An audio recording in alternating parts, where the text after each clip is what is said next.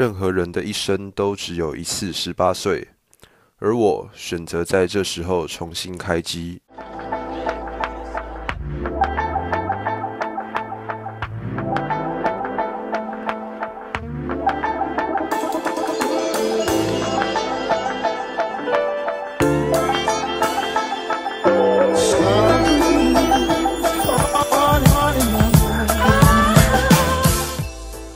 Gary，十八岁的台北人。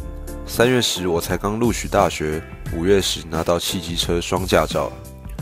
打工存下来的钱也足够我买不少我想要的东西。活了十八年，终于第一次感觉到所谓的顺利。但我选择在这时候跑到一个没人认识我，我也不认识任何人的地方生活。我在二零一七六月时，独自一人在台东都兰打工换宿。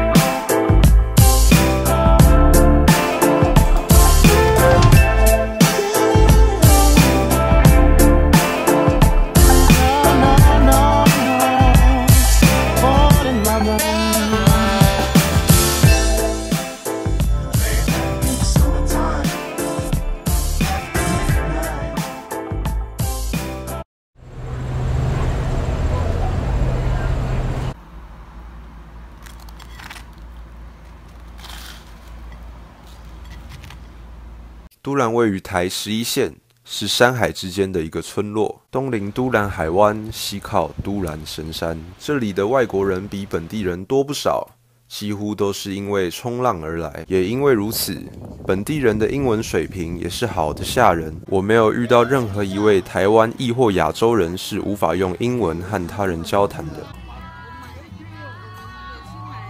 好，小心哦。谢谢。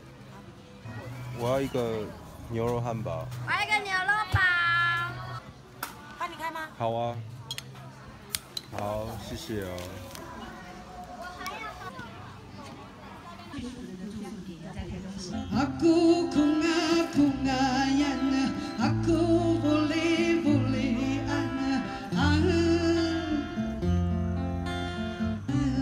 打工换宿在国外十分流行。我在一间民宿兼酒吧工作。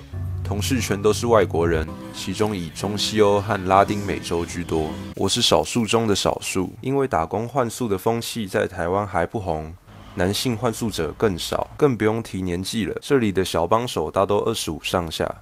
我是团体中的老幺，但并没有集三千宠爱于一身。给我吹喇叭，给我吹喇叭，要是你喜欢就张开嘴巴。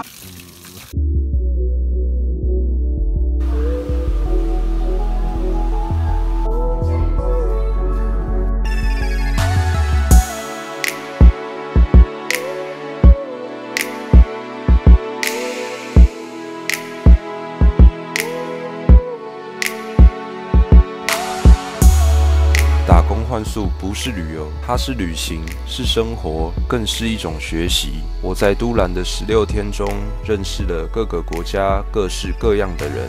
我和一位玻利维亚的小姐晚上在酒吧聊天，我手上拿着啤酒，她却拿热咖啡。她说晚上喝咖啡在他们国家很常见。我与三位同性恋共事。和他们的生活使我了解到，同性恋和一般人并没有什么不同。我甚至会和他们讨论理想型，讨论今天入住的男客人和路过送饮料的小弟如何。哎，老板，哎，我要三个西瓜汁，谢谢，谢谢哦。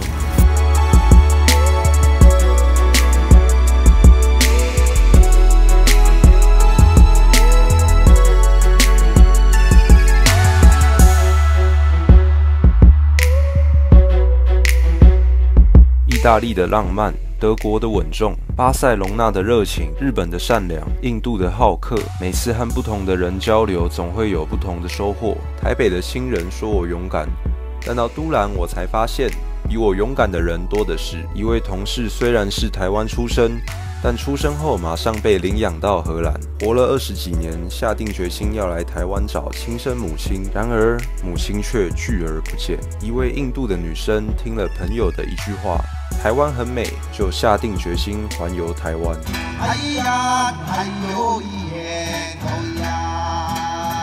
许多大学刚毕业的外国学子靠着打工存下的钱环游亚洲，他们总是兴奋地和我分享来台湾前的故事，并且期待往后的旅途。我爱死他们说故事了，虽然常常因为口音的关系听不清楚。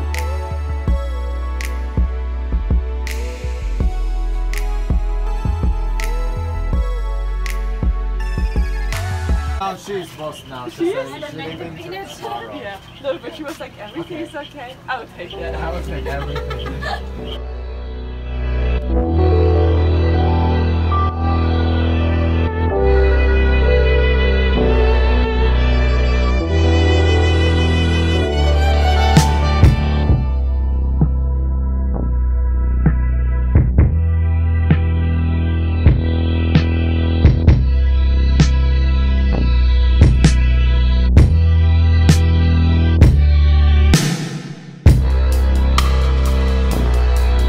到都兰越久，我发现我越来越可以掌控自己的时间。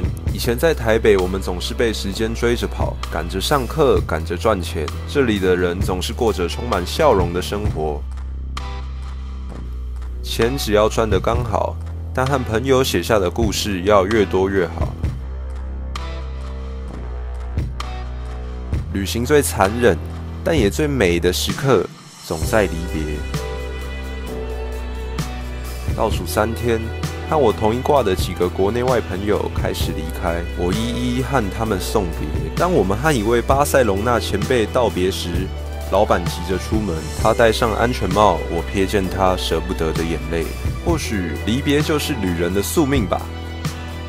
有一位同事在离别前写下：“旅人从不告别，因为只要还活着，就一定会相见。”我没那么乐观。我们来自各个国家，说着不同的语言，或许再也不会出现在对方的世界里了。但你们依旧会在我的故事中跳跃着。我在六月五号抵达都兰，在六月二十号离开。我不敢说这十六天可以改变我的一生，拍谁呢？但至少我知道，还没坐过这么大的车子。我已经爱上旅行了。